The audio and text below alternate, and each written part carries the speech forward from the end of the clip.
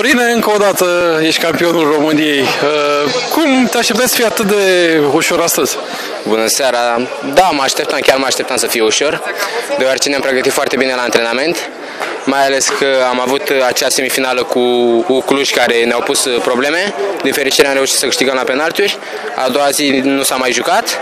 A fost, uh, au fost uh, două săptămâni în care pot să zic că ne-am relaxat, ne-am intrat din nou în mână, am făcut antrenamente bune și astăzi era normal să batem.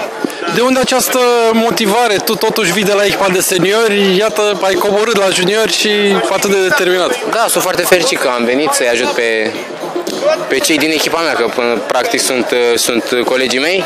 Ne bucurăm că am reușit să luăm uh, al cincilea an consecutiv, nu? La junioria.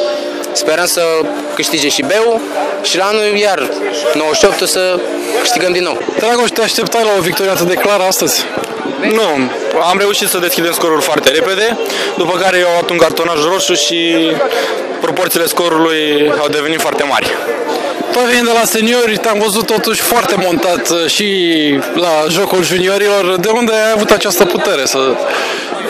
Îmi place să câștig. Ai fost capitanul echipei, este o, are o semnătate aparte acest uh, trofeu. Uh, Tu ai fost cel care practic a ridicat acest uh, titlu. Da, e ceva nou pentru mine, n-am mai, n-am mai fost capitan până acum într-o finală.